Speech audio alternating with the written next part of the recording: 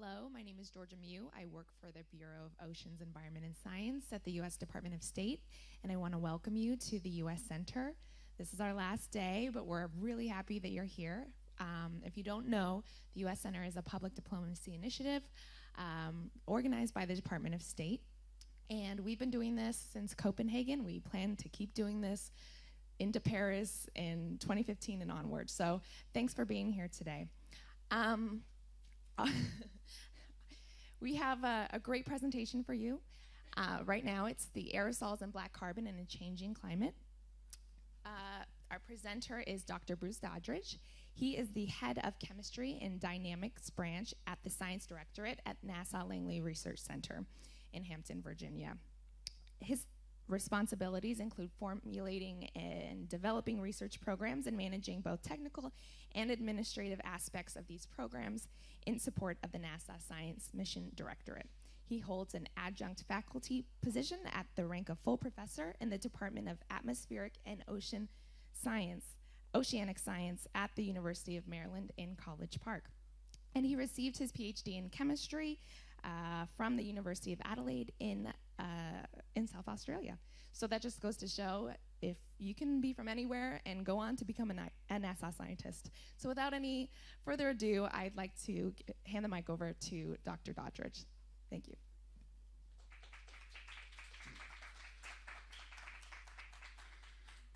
Thank you, Georgia. I very much appreciate the, uh, the, the, warm introduction. And thank you to everyone for coming in on the morning of the last day of the conference. I'm sure you're pretty fatigued, having long days, and it meant a lot to me that you would come and hear a little bit about the topic today aerosols and black carbon in a changing climate. I also, before I start, want to give a uh, recognition to the people here at the US Center who, especially those behind the scenes, the people you don't see that do a fabulous amount of work to keep uh, this uh, centre functioning in a vibrant and exciting manner. And I definitely want to give those people a shout out because without them, the people who get up and have the easy job of just giving the talks, uh, it's, uh, it really wouldn't happen. So once again, thank you to you for uh, coming and attending. Also, any of you uh, watching uh, live streaming, especially if it's early in the morning in the US, I wanted to thank you for taking time out of your day to hear a bit about this topic. So there's an inherent responsibility when you're representing the work of others to number one, acknowledge them, and number two, not mess it up. So I'd like to gratefully acknowledge a uh, large amount of content from some really superb scientists uh, at, at, universities and at uh, NASA centers uh, throughout the United States. Uh, these people uh, offered uh, of themselves, their work, and their thoughts that I was able to package into what I hope will be an interesting talk for you today. Um, saying that, uh, it's my responsibility to represent the work of others in a coherent and understandable fashion. And if I'm not successful in doing that, please blame me and not these outstanding scientists that you see listed here. It'll be my fault alone.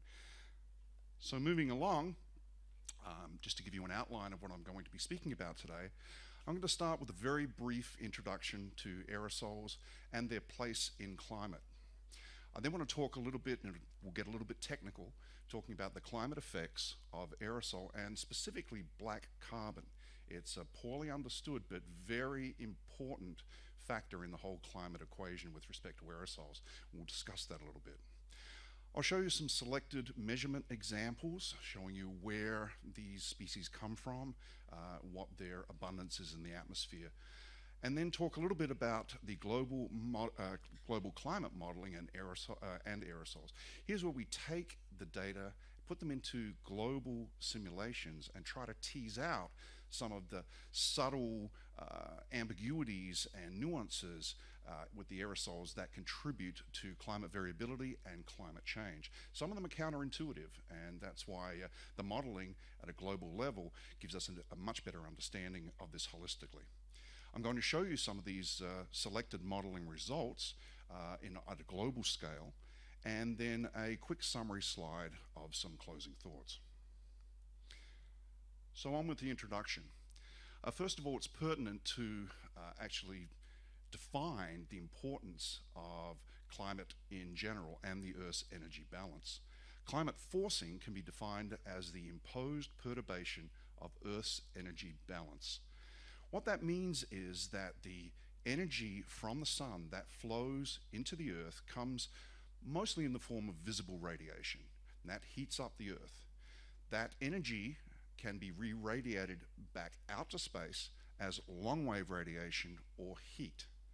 And it is the subtle interplay between that influx of energy and outflux of energy through the energy budget that's shown graphically below the narrative on this slide uh, that really the devil's in the details and understanding that energy balance um, as to what uh, components make up the total energy budget. The units that we use for radiative forcing are in watts per meter squared, and some of the numbers for the various channels that we see here in the Earth's energy balance and radiation budget are shown in, in the uh, schematic. I've circled in red areas of particular emphasis and importance to aerosols, and I'm going to be looking at um, radiative forcing uh, associated with re uh, that reflected by clouds and aerosols into the atmosphere. Um, radiation that's absorbed by the atmosphere, and radiation that's absorbed by clouds. And we'll be going through each of these in a very technical manner to try and, uh, I hope, give you uh, some uh, information as to the importance of aerosols in these areas. So why is it important to understand the Earth's radiation budget from a uh, weather and climate and even a policy perspective? We're running low on battery. I hope that means we're not going to die. Um, Ceres is a NASA a series Ceres is a series of NASA satellites that have been on orbit for several decades that look at the Earth's radiation budget from space. The left-hand panel is a, a, plot of the net top of atmosphere TOA flux in watts per meter squared as a function of latitude, where minus zero is the sign of the latitude for the southern pole, and plus 1 is the sign of, uh, sign plus 1 is the northern pole. And what you can see is, uh, marked in red as surplus, there is a surplus of top of atmosphere radiation in the equatorial zone. This makes sense because the tilt of the Earth doesn't tend to move the equator too far away from the sun as a function of the season. Whereas the North Pole and the South Pole will slant away from the Earth or to the Earth depending on the season of that particular hemisphere. So what we see is a surplus of TOA radiation at the poles, and then that energy drops away, excuse me, there's a surplus at the uh, equator, and that drops away at the poles. Jennifer Francis, if you happen to catch her talk earlier in the week, did a very nice job of explaining how this uh, the radiation imbalance between the high and low latitudes uh, actually res the response of the atmosphere to that is for wind and wind patterns to flow essentially downhill from the equator to the poles. This regional pattern of net radiation drives, uh, along with the rotation of the Earth, drives the atmospheric and uh, oceanic circulations that you see in the right hand uh, plot. So we see basically large scale winds moving from the equator to the poles. Uh, now, where the problem comes is if there's a change in that balance or there is more imbalance, perturbations can affect this large scale hemispheric flow from the equators to the poles. And this can have a very serious effect on our weather. So, this is uh, global temperature affecting climate which is affecting weather. And Jennifer Francis in her presentation, and also this was, I believe, streamed, so you can go back and look at it, talked about how the, the jet streams, basically the red arrows that you see, the westerlies uh, in the uh, uh, mid-temperate, uh, mid-latitudes on the right-hand plot, uh, the jet streams in the North and South Pole have been pushed more poleward and slowed down, and this is actually creating more severe weather patterns uh, as a function of time in response to the, the warming of the planet and the changing of areas of warming. So, in a nutshell, it's very important to look holistically at the entire globe and how warming differences are affecting climate and weather. So now moving to aerosols specifically. Uh, by definition, if you look it up in a dictionary, you're probably going to see that an aerosol is a suspension of fine solid particles or liquid droplets within a gas. And of course, the atmosphere is a gas. Aerosols have both anthropogenic and natural sources. Uh, anthropogenic sources uh, can be industrial emissions and motor vehicle emissions. Uh, that's for anthropogenic sources. For natural sources, uh, biomass burning, uh, such as forest fires, uh, Uh, de uh, deserts and dust that uh, are blown from desert areas, and also sea salt that is generated from sea spray and sea foam. Soot is a subclass of aerosols that are the response of incomplete combustion of a hydrocarbon. So these are impure carbon particles that uh, result from burning. At the bottom of the slide, there's a couple, some representative examples of different kinds of aerosol. On the left, we have volcanic ash, uh, which is basically spherical, but you can see there's a lot of morphology within the within the particle itself, and lots of sites where um, gases and liquids can accumulate on the uh, volcanic ash and can lead to secondary chemistry reactions. Uh, the middle panel uh, shows sea salt. Sea salt can uh, vary in its uh, size from submicron uh, onto tens of, of, around 10 microns in diameter. On the right hand side is tractor soot or carbonaceous aerosol. Uh, tractor soot is an unusual aerosol because it's very amorphous.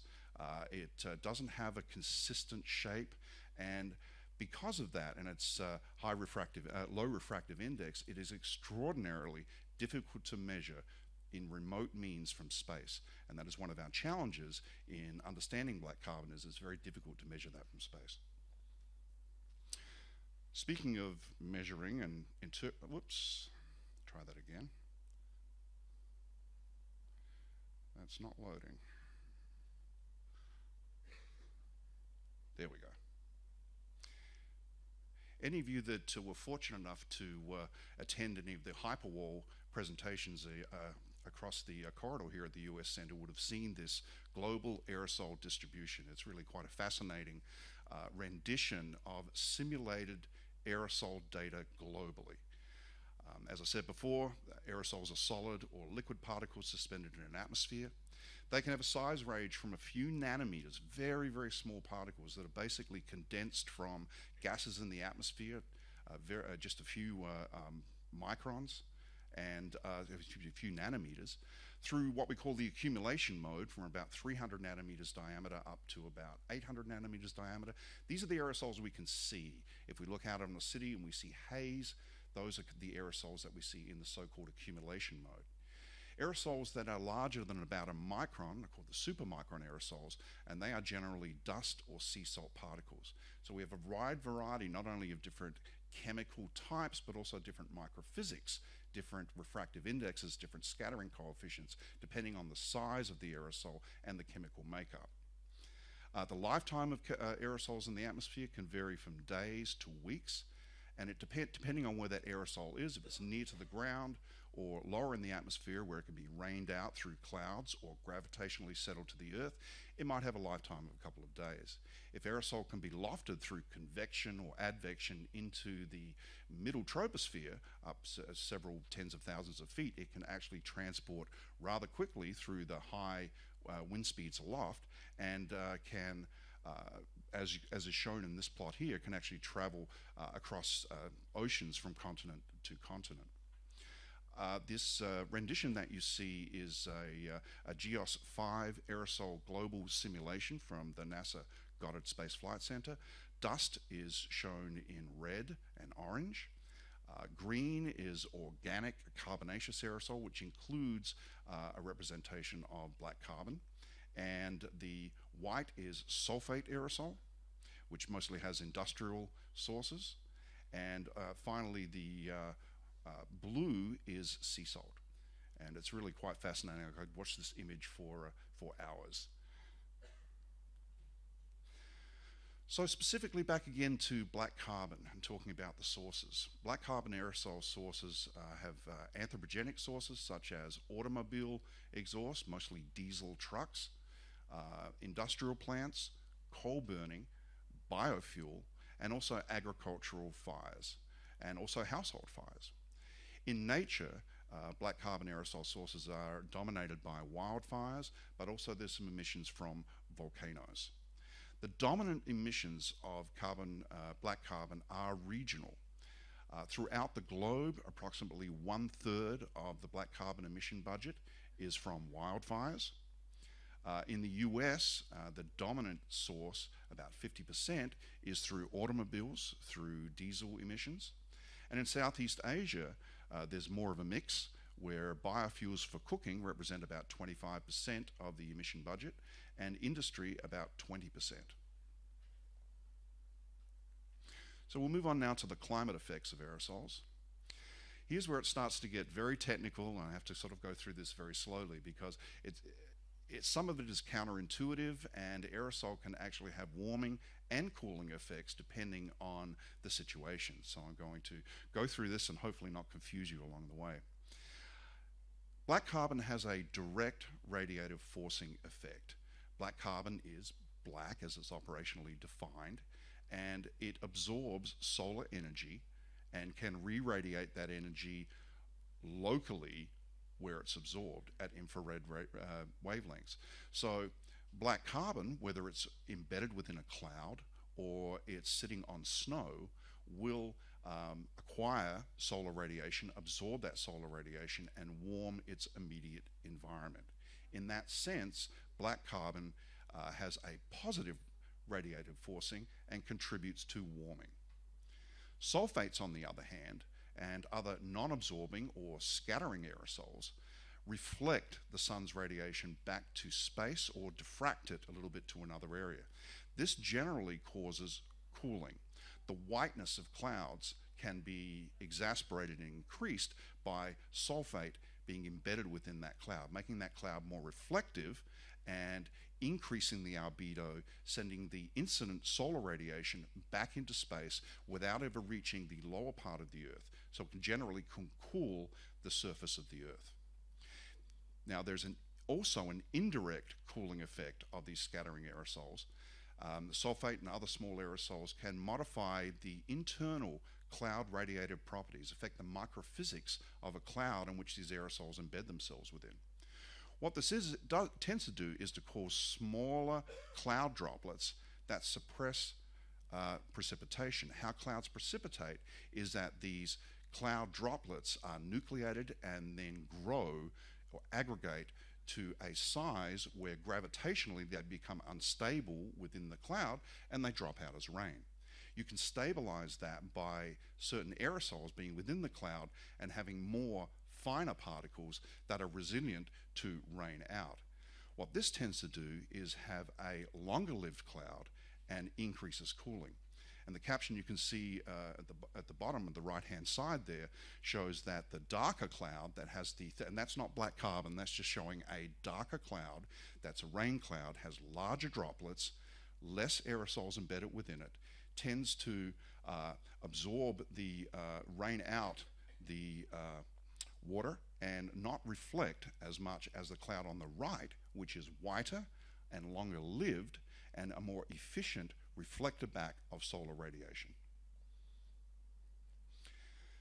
Black carbon can reduce clouds by what's called the so-called semi-direct effect. Now, black carbon will absorb solar radiation and can heat the atmosphere in a layer where black carbon is present. On the right-hand side, there's uh, sort of a cartoon showing um, some heat fluxes and evapotranspiration, and the left-hand panel uh, shows relative humidity and temperature as a function of altitude in a clear condition on the top and in a smoky condition, uh, condition or with black carbon present in the lower panel. And what you can see, I hope, is that uh, when you have black carbon in the lower panel, uh, the temperature actually increases you can see it uh, uh, be warmer at uh, aloft than it is in the clear case. And the relative humidity actually becomes more sta stabilized and the black carbon reduces the relative humidity, lowers the relative humidity, increases the temperature. What that does is it forms a very effective barrier to evapotranspiration, which you can see on the right-hand panel, whereas in a clear condition you have these convective eddies that uh, move from the energy that comes from evapotranspiration up into a level where clouds can form, and you can see some small cumulus clouds forming. If you have a soot layer aloft, that can tend to, tends to dam or block the evapotranspiration, which is much smaller, and those heat eddies from getting to a height in the atmosphere where clouds can be created. Therefore, cloud formation is inhibited, so you're going to get fewer clouds with less solar reflectance and more warming. So it's kind of a double whammy. You've got heating aloft, so the area where the black carbon is is actually being heated locally, but you're also not producing clouds, and so you tend to have more warming near the surface. So once again, black carbon is a, is a strange animal because you can get counterintuitive effects. Uh, black carbon may actually invigorate convection. Uh, there's uh, in the uh, depiction uh, graphic you see the, the top panel shows a growing, mature, and dissipating convective storm or thunderstorm or mesoscale convective storm, depending on uh, what discipline you study. The bottom, uh, that's in a relatively clear environment. The bottom panel shows that same storm evolving and forming in uh, a situation where there is more black carbon in the so-called planetary boundary layer. Now, how mesoscale convective storms and thunderstorms uh, develop is that they feed from energy close to the surface. That energy rises in a torrent, and, and the larger the convective updraft within that torrent, the higher the storm will go. And major mesoscale convective storms can get up to 50, 60,000 feet in altitude. Now, black carbon aerosol, if entrained into a developing thunderstorm, can act as nuclei for ice formation when caught in these convective updrafts within the core of the thunderstorm. When it does that and it gets freezing, the latent heat that was within that cloud is released. And that latent heat that's released adds to the heat flux that's already being entrained into the developing cloud. So you're adding a heat source through this freezing process nucleated around the black carbon. What this tends to do is to increase the precipitation because the cloud is bigger, it's more vigorous, you get more divergence aloft. You're going to get a larger cloud amount. You're actually going to also get more lightning. How lightning works in a cloud is you have small particles within these convective updrafts and there's also downdrafts that essentially have a friction between them. And that static that is caused by the friction between these particles moving at vertical velocities that can sometimes be 30 meters a second within these storms create static electricity that can build up and discharge as lightning. So these storms can become much stronger and more dynamic if black carbon is entrained into the storm. So it can increase the cloud amount and also increase cooling.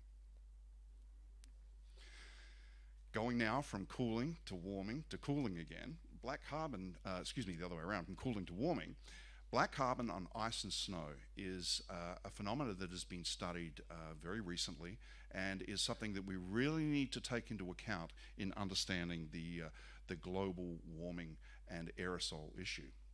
Snow and ice generally reflect sunlight, which cools the climate. Remember that you have the incident radiation solar wavelengths coming into the Earth. If the Earth has a highly reflective surface, then most of that visible radiation is going to be reflected straight back out to space, and you're not going to have a significant net cooling of the atmosphere as a result. Therefore, climate in polar and glacial regions is very sensitive to black carbon due to what's called the positive albedo feedback. If black carbon through transport, remember black carbon under certain scenarios can have a transport lifetime of days to and longer and possibly leave a polluted source and uh, reach a sensitive um, snow and ice area. The black carbon uh, can deposit on snow or ice, which makes the surface darker and would reflect less light. And there's a depiction panel on the right hand side that shows darkening of snow cover. Now, if the surface becomes darker, immediately the albedo of that surface changes. And what was a brightly reflecting surface before now becomes a duller, more absorb, uh, absorbing surface. So sunlight will be and heat will be absorbed on that surface. Now that surface, once it gets warm, its natural response is going to be for the snow and ice to melt. Uh, harking back again to Jennifer Francis's excellent presentation earlier in the week, she talked about ice melt uh, in uh, polar regions and, and noted uh, quite succinctly that when ice melts, it actually lowers the uh, albedo. So melting ice has a lower albedo than, than fresh ice. It doesn't reflect as, as uh, efficiently. So once again, you're getting a double whammy. It's, it's warming because of the black carbon, it has black carbon impregnated on it, and the actual snow that's melting has less albedo than fresh snow. So you end up in this feedback loop where the snow and ice melt increasing makes the surface even darker. And if more black carbon deposits on it, you can end up getting into a cycle. Now, it's not a runaway cycle, it's more like a uh, snowballing effect, if you'll pardon the pun. So this is something, the positive albedo feedback mechanism is something that until recently has been underappreciated and we think it is a major driver uh, in these particularly sensitive polar regions. Aerosols also have a profound impact on monsoons. Over 60% of the world population live in Asian monsoon regions, and I've actually got a graphic on that coming up next. Monsoon related droughts and floods and aerosols are two very severe environmental hazards with respect to Asian monsoon uh, regions. Now, the monsoon water cycle, like many atmospheric cycles, are driven by atmospheric heating and differential heating through the dynamical interaction of wind, moisture, clouds, and rainfall. It's really all about the energy and the differential heating in different areas. Sea surface temperature and land surface processes can control the monsoon water cycle through generation of surface heating gradients. Once again, energy moving from a warmer area to a cooler area, and the atmospheric heat sources and sinks shifting. Now, suspended particles, aerosols, clouds, and precipitation in the atmosphere regulate and interact with these heat sources and sinks and can alter the monsoon water cycle. So, globally, looking at monsoon climate systems, the climate system mon monsoons uh, globally are noted here in this graphic, and you can see there are several monsoon areas uh, thing to point out is that 60% of the world's population live in the Asian monsoon area. And this is a particularly sensitive area, and we've actually shown some simulations later on that look at the direct aerosol forcing in these regions is particularly strong. Uh, the other monsoonal areas, of course, uh, also are particularly sensitive and have each suffered perturbations as a result of climate variability and climate change, although these are being studied.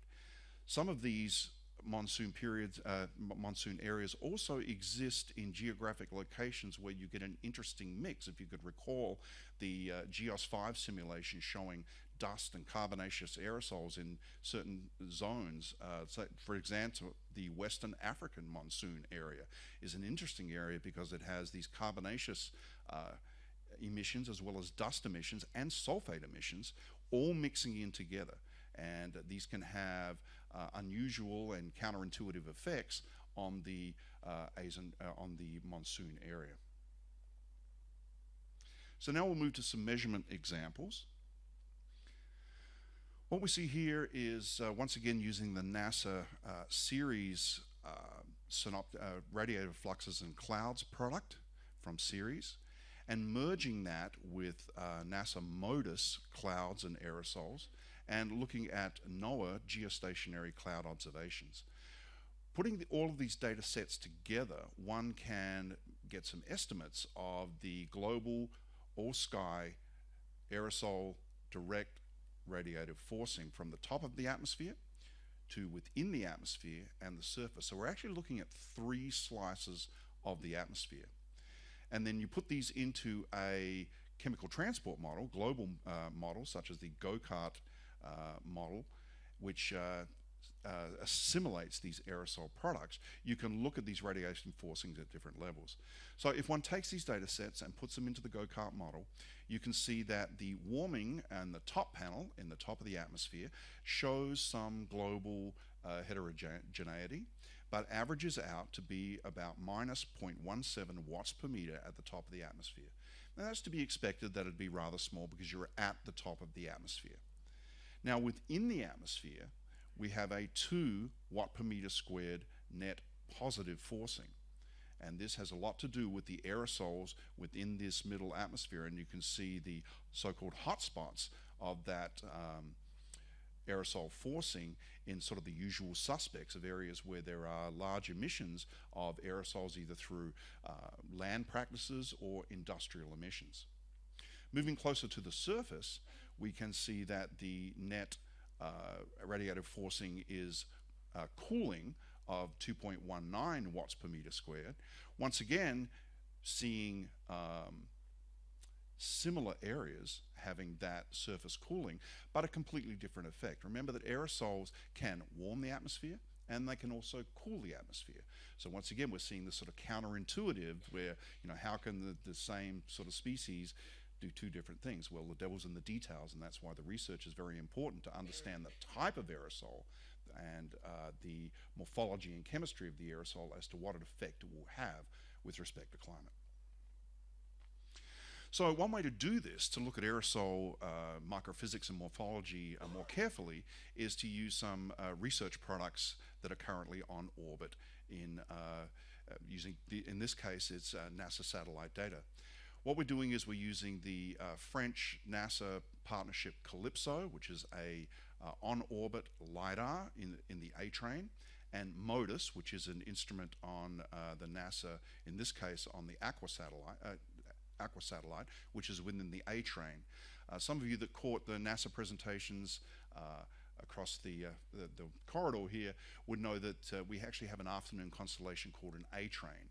Uh, this is a sun synchronous polar orbiting uh, procession of satellites that cross the equator at 1.30 every day in strict formation.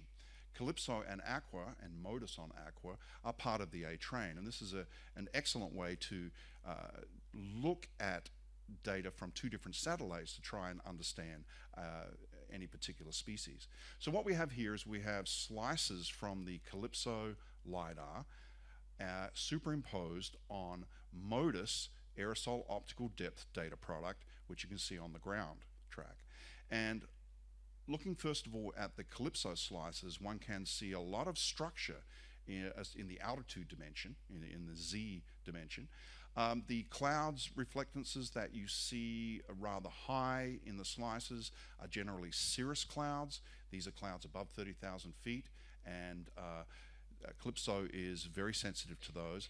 The blue that you see under these clouds is actually a shadow. CALIPSO is a uh, LiDAR, it's a laser. So some of these cirrus clouds, the LiDAR can penetrate, some they cannot. So you get a shadowing effect under these uh, clouds. Now, where you have clear sky above the mid layers, you can see some yellow layers in the CALIPSO tracks. These are aerosol layers. You can also see some cloud layers at lower level. If one looks at the middle slice uh, towards the top of India, actually near the Tibetan um, escarpment, one can see a sort of hotspot of red. And you can see this not only in the CALIPSO swath, but also in the MODIS aerosol optical depth on which it is overlaid. What that is uh, are uh, aerosol emissions from the Indian subcontinent that through meteorological transport factors have been dammed up against the Himalayan plateau. And that shows that some of these transport patterns and uh, topography can cause some interesting features that we can see uh, with this kind of treatment. Now, is that relevant for climate? Probably not, but it helps us understand the source sink relationships that feed in on longer timescales uh, to uh, climate change. And uh, so this is a very powerful uh, method of looking at aerosols in near real time.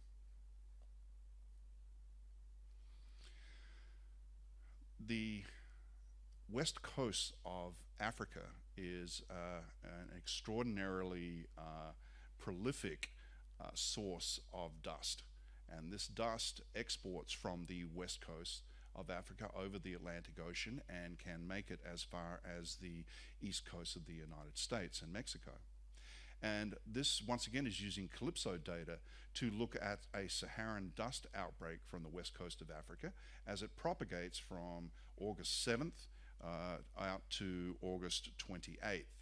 And superimposed upon these swaths are actual uh, air parcel back trajectories. These are uh, mathematical model simulations of discrete air parcels that at some particular date arrived at the US, you can use meteorological data, archived meteorological data, to track that as sort of a forensic analysis, to track that air parcel back in time to see where it came from.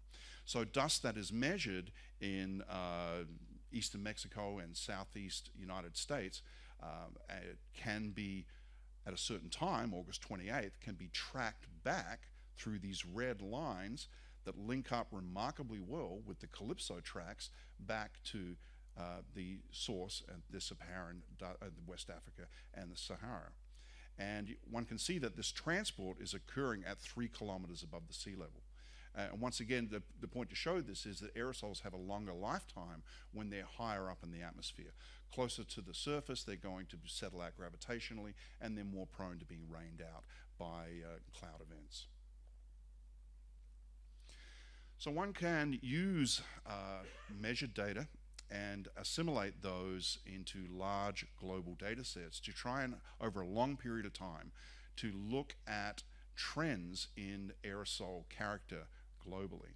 And this is the wonderful advantage of making long term, sustained, internally consistent measurements from space.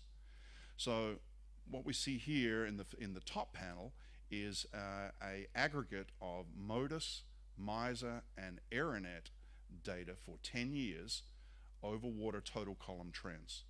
And uh, MODIS and MISR are on orbit instruments on NASA satellites. AERONET is a global ground network of sun photometers, essentially mimicking what's being done at the, uh, on, the, on the satellites, but looking from the ground up rather than the, from space down. And the top panel shows the trend from 2000 to 2009, and the bottom panel shows the statistical significance of those data, with the cooler colors, the, the blue being a higher statistical significance and uh, the gray being a lower statistical significance. If one looks carefully at these data, you can see that uh, for most of the globe, uh, there is a statistically negligible global average over water in the aerosol optical depth or aerosol optical thickness trend. However, there are statistical uh, significant increases over three main areas. And if you go back to the top panel and look towards the right, uh, you can see over the Bay of Bengal, the East Asian coast, and the Arabian Sea, we not only have high degree of statistical significance, but we see a significant increase in the aerosol optical depth in those regions. Now, these are associated with emissions in uh, the Indian subcontinent, uh, Southeast Asia, and China. And so we can actually look at these trends over, over long periods of time to understand what the dominant aerosol sources are. We're trying continually to improve our uh, fidelity and representativeness of the aerosol uh, parameters that we derive from space. And measuring something from 200, 300 nautical miles above the Earth has inherent challenges, especially when you, you're battling physics um, with using passive techniques um, where you're actually looking at reflected sunlight rather than actively pinging the atmosphere with a LiDAR. Um, looking over several hundred kilometers can have its challenges. So uh, scientists at NASA and partners, uh, international and agency partners and the university community are continually looking at ways to improve the retrievals from these satellites. Here's one particular example. Uh, the Research Scanning Polarimeter, or RSP, is being developed for future missions such as the Aerosol Cloud Ecosystem, or ACE mission. Uh, what the Research Scanning Polarimeter will do is look at uh, size, size number distribution, uh, the, uh, the, polarimetry of aerosols in the ambient atmosphere. And one way that these things are tested is that a uh, demonstration model for a satellite instrument is put on an aircraft and flown at high altitude along with some other regu- long time heritage aircraft measuring instruments and this is so-called challenge to the satellite demonstrator. In this particular, we have two particular cases here. We're looking at uh, the spectral aerosol optical thickness on the left, where RSP was actually flown with the Ames airborne tracking sun photometer, which is similar to the Aeronet uh, system on the ground that's been run for a long time, and this is an airborne instrument.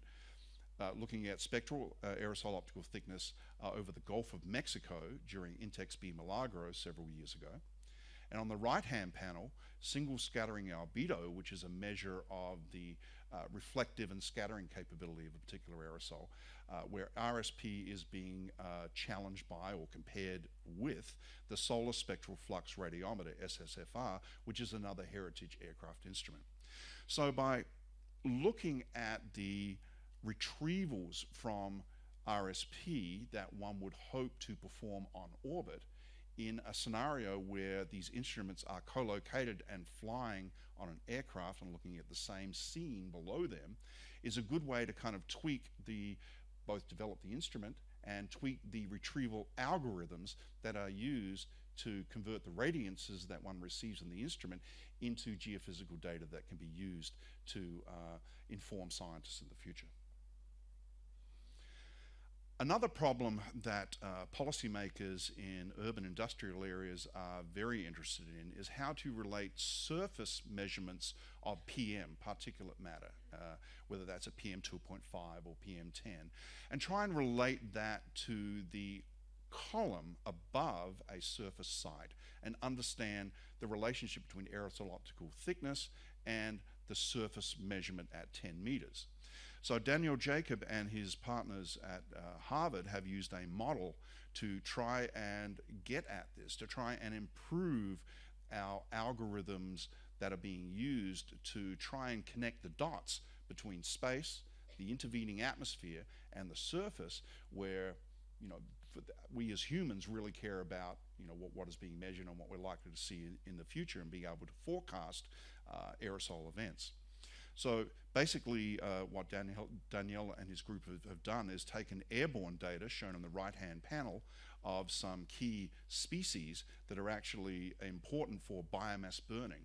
Once again, some of these layers aloft uh, that travel long distances from biomass burning regions tend to impact regional air quality and climate.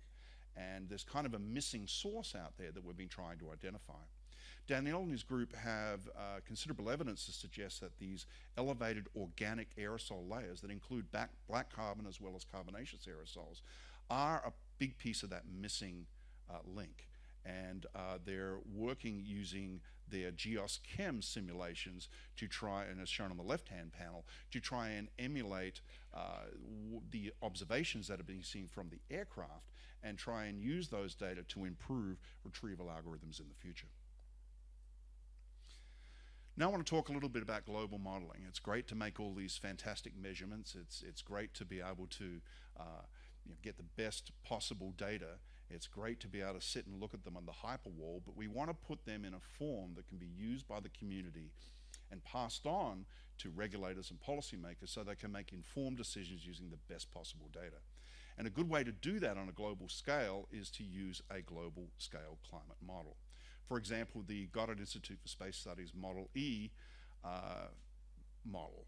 And this is described schematically here. It uh, basically encapsulates the Earth like, a, like the skin of an orange into a horizontal and a vertical grid with a number of spacings. Then what it does is in those, for those particular grid boxes, it uses a variety of input data. They include energy, water and carbon cycles, land, ocean, biosphere, and atmospheric dynamics, land use and land cover, and also atmospheric composition change. And you can't really see the schematic uh, too well at the bottom, but there's a, a cartoon of the different these different cycles and how they, they feed into this global model. Now these are extraordinarily complex models. They're very interactive. They nudge uh, and, and translate information between the grid boxes. They work at very high scales, but luckily advances in computational power and, and, and memory. Now, the first gigabyte drive I ever bought 20 years ago was as big as a shoebox. Now you can, that was one gigabyte. Now you can put 30 gigabytes in a little tiny stick. So it's amazing how much storage has improved. And, and this computational power, neural networks, uh, cloud computing, it's really helping us with global modeling. Coming back again to black carbon, how do you consider black carbon in this model? Once again, I mentioned that, that black carbon has uh, warming and cooling characteristics. So this model needs to include the aerosol direct effect. That is negative for aerosols and positive for black carbon. Looking at the absorbing and scattering of light by aerosols, where they warm the atmosphere and the stronger absorption by black carbon. The aerosol indirect effect, which is negative for aerosols and black carbon that tends to cool. Aerosols act as cloud condensation nuclei, change the cloud cover, change the brightness, change their lifetime. The aerosol semi-direct effect, that could be positive or negative for the aerosols or black carbon because the presence of aerosols changes the thermal structure within the atmosphere and you can change clouds depending on the specific situation and then the aerosol uh, snow darkening effect, which is positive when black carbon is laid on a highly reflecting surface. One can look at these as being the direct effect and the indirect and snow darkening effects being feedback effects that you need to take account in a total effect, in a dynamic sense within a climate model, or you're going to get the wrong answer. Or even worse, you might get the right answer with one simulation and then you try and use that again because you're confident that it works in another situation and it doesn't work. Because if you get the right answer for the wrong reason, it really ruins the utility of your model. So this isn't easy, and that's why it's definitely a research problem. And uh, there are a lot of people out there in the community globally trying to improve these models and the representation of aerosols to try and get the right answer for the right reason. Now, quickly, some model results. Uh, direct forcings per emission sector since 1850 is listed here in the domestic center.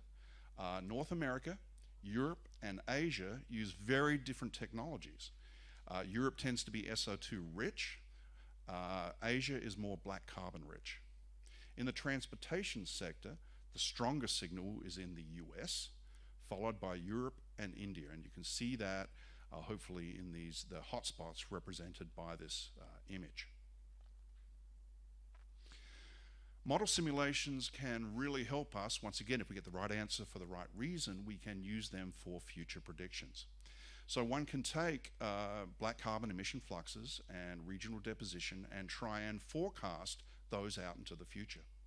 Emissions are expected to increase in the near future, from 2010 to 2030, which one would expect to lead to increased black carbon, which would have a impact in some of these sensitive areas, such as the snow areas uh, in the Himalayas and in the polar regions. Future black carbon emission fluxes are predicted to decrease after 2030, as shown in the uh, plots above, for a number of the uh, RCPs, or so called representative concentration pathways. That should lead to decreased black carbon deposition in Greenland, Himalayas, and the Antarctic. Once again, these polar uh, regions are very sensitive to climate change, very sensitive to black carbon. You one can exasperate the already high uh, uh, temperature anomaly or heating in these areas by black carbon.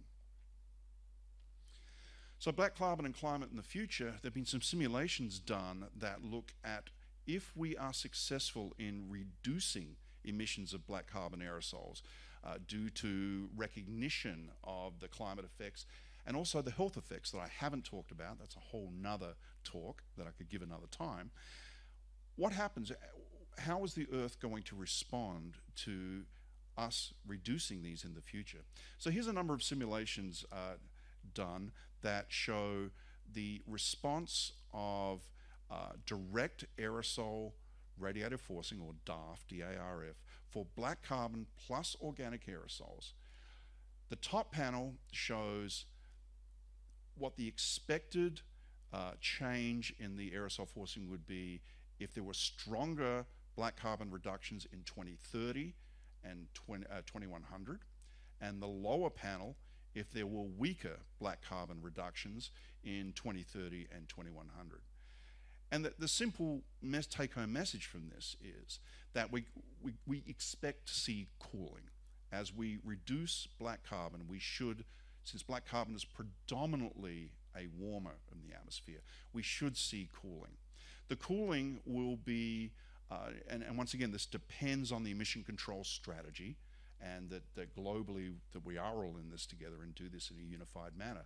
We expect most of the uh, changes to be in areas where there are most emissions, and that makes sense. Uh, we actually still see some warming in the 2030 weaker black carbon reduction scenario. But in all other scenarios, we see significant cooling as a result of these, uh, uh, this cleanup effort. So my final slide, let's get this movie going if it'll work. Some final summary thoughts. Black carbon aerosols absorb solar radiation. The climate warming that uh, is a result of this can offset the cooling from scattering aerosols, those that are dominated by sulfate. The warming effect of black carbon has been recently demonstrated by Tami Bond to be second only to the warming of CO2, which is, which is a result that surprised a lot of people. It has about 70% of the warming potential of CO2, so it's, it's, a, it's a player. Targeted reductions, for example, diesel fuel exhaust, which the US has taken positive steps to do, may cool climate and mitigate future greenhouse gas warming. But a cautionary note that the potential for climate warming mitigation may be tempered or enhanced due to these complex interactions that I hope I've been able to give you a feel for between black carbon, snow, and clouds. It's a very dynamic environment, and some of the feedbacks are counterintuitive, and the same thing can do different things in different scenarios. So we need to understand this, and uh, but I think the payoffs can be very rewarding. In closing, I'd like to thank you so much for your time. Uh, it's really been a pleasure to be here. Thank you for your attention.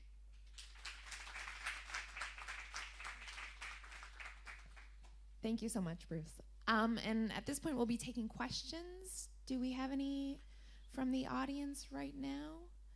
Yes. Can you please give your name and your affiliation? Uh, Constantine Barberi, the Abt Associates in the US. Um, you just mentioned in passing uh, the, the health impact. Mm-hmm. And since temperature and uh, aerosols and everything else may be difficult to connect to economic impact, health uh, impact is easy, you know. We can see it, yeah. Mm. So can you speak very briefly on that and if there's any more compelling or more convincing case uh, to connect to do the correlation with the health benefits? Um, I, I, it'd be my pleasure. Um, the health, I actually did have some health effects slides um, that my colleagues had passed on to me, and it's in the interest of time, I couldn't put them in. I'm actually an, an air pollution meteorologist by trade, and, and I'm, it, I'm, actually more expert in that than I, than I am in this. Uh, black carbon is very interesting because uh, it uh, can affect health in several ways. Uh, it is of a similar size that can um, be considered a respirable uh, uh, aerosol. So we breathe in black carbon. Uh, now, just straight um, soot, uh, if it's just pure graphitic carbon, well, maybe it's not an issue. But, but from some more exotic burning or black carbon being a site on which other chemicals in the ambient atmosphere that aren't quite so uh, innocuous, uh, such as uh, PAHs, um, polyaromatic hydrocarbons are, often collude with black carbon. You can get coatings on black carbon that, when uh, are breathed in, can cause um, morbidity and mortality in humans. That's really not well understood. So, uh, black carbon, uh, certainly as far as uh, respiration is concerned, I think has a uh, effect on health. Um, it also doesn't look very pretty. I know that's not a health impact, but, but you know, urban, when you look around, you can see uh, black carbon uh, is kind of messy to have. I think that certainly the, the respiration uh, of black carbon, ingesting it through, through the lungs, and some of the coatings that you can get, or some of the some of the soot can have chemical constituents uh, with it uh, that can cause cancer and uh, affect human health. So um, that is something I think is, is very important, and, and the health aspects cannot be underemphasized.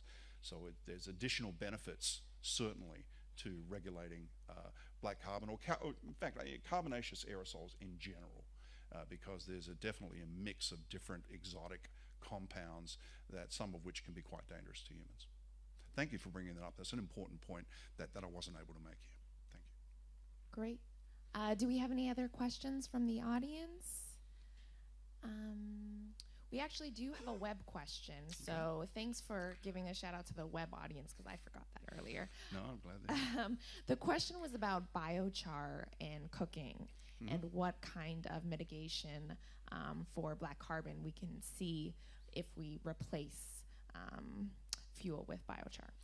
Right. Well, in principle, uh, biochar, and I, I'm, I'm not. I must profess not to be very up to date with uh, uh, the latest research on biochar. But actually, at NASA Langley Research Centre, we have a small group that are doing controlled burns of biochar right now. Uh, they're very interested in sustainability and looking at that. The bottom line is the sort of the holy grail for biochar is to get absolute complete combustion. And if you if you can burn biochar, hopefully you should be left with carbon dioxide and water. And uh, I think the, the key is going to be having the technology in place at the incineration end and, and, and having the right kind of architecture of the vessel that's going to burn the biochar to get the energy you need but to have the right air fuel ratio to maximize the stoichiometry of the, the chemistry of the reaction so that you get clean products. Because in principle, biochar should be able to burn completely clean. And uh, I know there's research being done, done by this in, in Europe and the, and the US, and I think it looks promising, and certainly it can be very powerful if it's done. Now, I may or may not have answered the question, but I, am glad someone asked that because I think that's that's a step that really translates globally. If the technologies, especially if they're, they're and probably going to be a simple technology to burn biochar, and if you make it available globally, it can make an incredible contribution to minimizing those black carbon. Uh, I mean, I talked about the US efforts to uh, reduce black carbon emissions from, from diesel uh, emissions, but globally, the biochar can solve, uh, what solve, can address uh, a number of problems in developing countries where they routinely, you know, burn over, uh, cook over open flames. So thank you for the question. Okay. Um, I think we'll take two at the same time. So go ahead and state your question. Small question. Uh, do you mind? I'm Songwood from Thailand. Do you mind to uh, tune up my understanding about the effect of the sulfate? Uh, it seems to me that from your presentation, sulfate is good to the global. Uh, it's well, it, it, it's good in that I can answer this very quickly. It, the good part of it is its radiative properties are it's, it's highly reflective. It has a very high uh, single scattering albedo. So what it will do is it will reflect out to space. The bad news is that when it mixes with water, it produces sulfuric acid and is a component of acid rain. So like most things in nature, there's always a trade. Thank you for that question. It's a All good right. question. So your name and affiliation, please. Hello, it's Chris Core, World Preservation Foundation. Uh, with regard to a, a lot of the black carbons, obviously from the wildfires, biomass burning, pasture burning, and clearing. Um, just with regard to uh, uh, something as nit- nitrous oxide, the N2O, the UN's just brought out a new report about that. A lot, uh, a lot of the emissions of that are also agricultural and from Mhm, the same sources mhm. as the black carbon. Um, they proposed a couple of different potential mitigation strategies. One of those was um, reducing meat consumption. Um, I was wondering if that's a possible uh, being looked at as a mitigation strategy for regarding black carbon as well. You know, I'm I'm I'm just a dumb chemist, so I, I kind of more on the uh, on the science side. I, I am not aware of that. Now, certainly nitrous oxide, you bring that up. It's very important. Not so much in the troposphere, though, because it's got such a long lifetime. Really, not until it gets into the stratosphere that it, it starts uh, adding nitrogen to the stratosphere, which causes whole other problems. I'm afraid I really can't answer your question because I'm not up to date with that research. So uh, I, there's probably uh, lessons learned and synergies there. I'm just not aware of them. I'm sorry. Any other questions for Dr. Doddridge? Okay. Well, I think you'll be hanging around. Um, I'll be around for a while. He'll be around. I think you're also giving a talk in the 30 minutes. Uh, my or- colleague is, oh, is Cynthia, giving it. yeah, okay. but Cynthia wants to stand up. Um, that cool graphic that you saw from Bruce's presentation will actually be We'll put it up. put it up put up on the hyperwall for you to see in great detail so I, I, I encourage you to go over and see that and for our web audience if you aren't in person in warsaw i believe they also have that available on earthobservatory.nasa.gov That's absolutely so you can right. find Yes. more information there as well um, i'd like to thank you again for coming to the u.s center to our last event and i hope to see you all again in, uh, in lima next year so take care Thank you. everybody